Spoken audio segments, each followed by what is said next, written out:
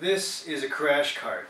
It's painted red so that everyone can easily see it no matter where it is in the building when we call a code. A code in different hospitals represents somebody that needs resuscitation, cardiopulmonary resuscitation. So if you're in that bad state and one of us has to put the paddles on the chest, break open the crash cart, that usually means that you were probably in a bad state getting to the hospital. Nowadays, we try to prevent people from having to ever get to those points. There's an acronym that you'll see across the United States called FAST. FAST is for, it stands for facial droop. That's usually when you see one side of somebody's face go down like this, or the eye droop down.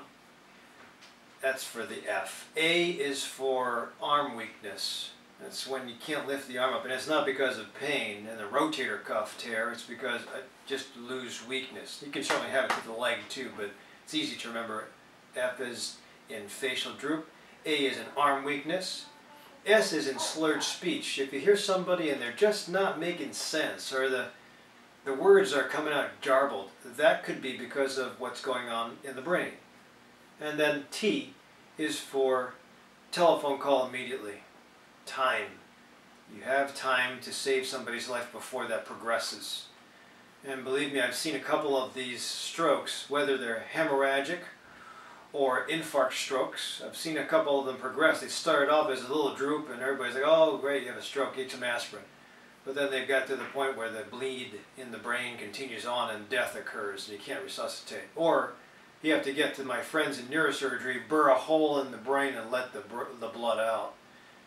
So it's very important that we find these things when they're first starting. There's a good chance that if you're finding a stroke or a stroke victim, has the stroke is evolving, it's called, and if you reverse the reason for the initial stroke, you might be able to save the patient a lifetime of disability.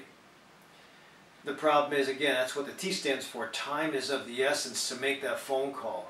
And if you don't do it in time, you'll probably stop the stroke, but you'll also have somebody who can't talk, somebody who needs help with feeding himself, somebody who can't contribute to a productive workforce.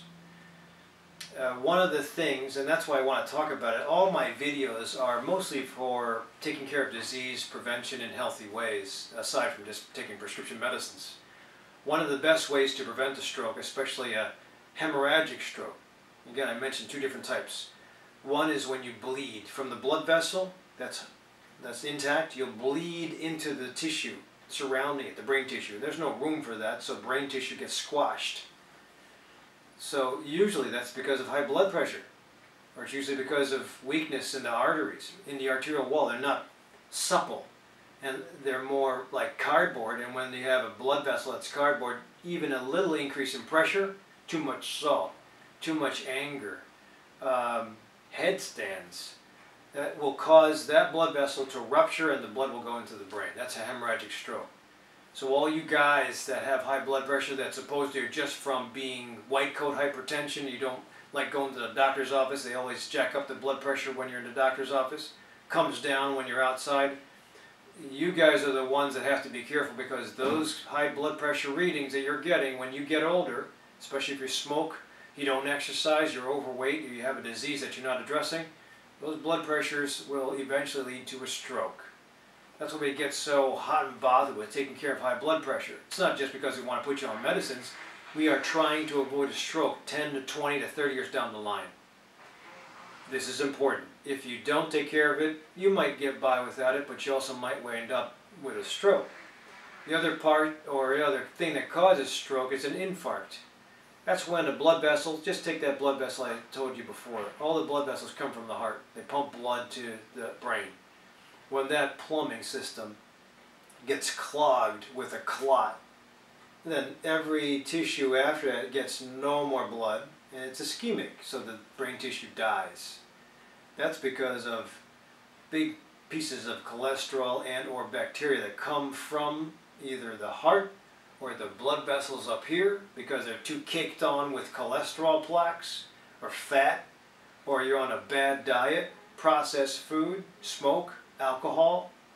When those little, if you have a blood vessel like this and it's lined or caked on with cholesterol plaques, one of those plaques breaks off and goes downstream, it's going to end up in a tight portion of the brain it's going to cause an ischemic stroke. And that too, again, why do we say watch your cholesterol? Why do we say watch your blood pressure? Same reasons. This is more of a case of the cholesterol issues and the plaques that form. Inflammation, inflammation and cholesterol, inflammation, cholesterol, and high blood pressure, they all add. So you can see there's a trend here. You got to stay healthy. If you think that these diseases are only for 90 and 80 years of age, I, I got news for you. We're seeing people in their 50s. It's probably because the American population is getting unhealthy but it's also in, in part due to doctors not telling their patients about why we're treating all those things. When I hear people say, I'm not a pill taker, eh, that's fine. If you're not a pill taker, you better eat better than me. I'm wearing my kale shirt. This is kale.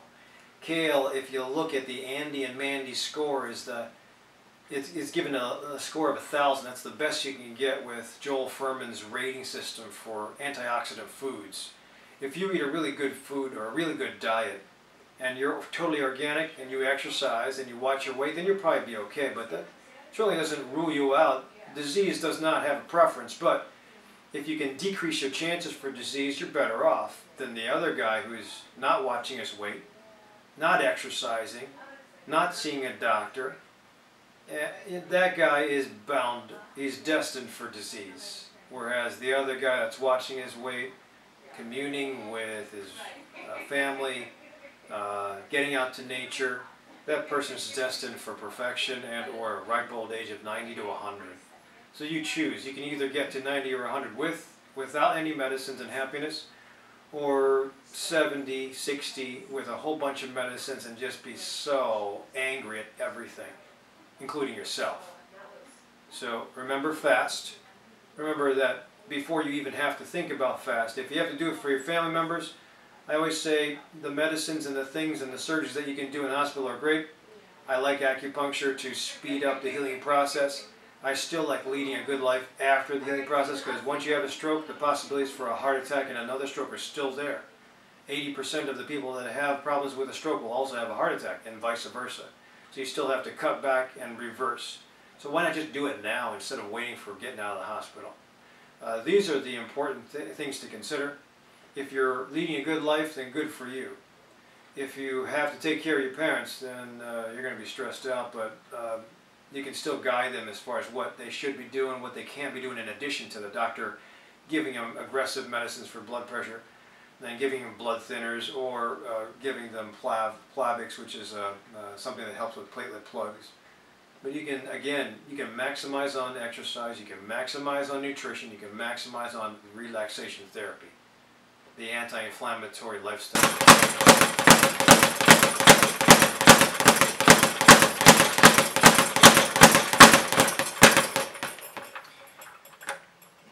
As a corollary to the stroke FAST talk, I wanted to also uh, suggest there are other things that we have to be careful of with impending stroke. And sometimes it's not uh, going to be the uh, facial droop, the arm weakness, or the slurred speech. Sometimes it can be as easy as uh, headache with difficulty in getting words out. That's called expressive aphasia.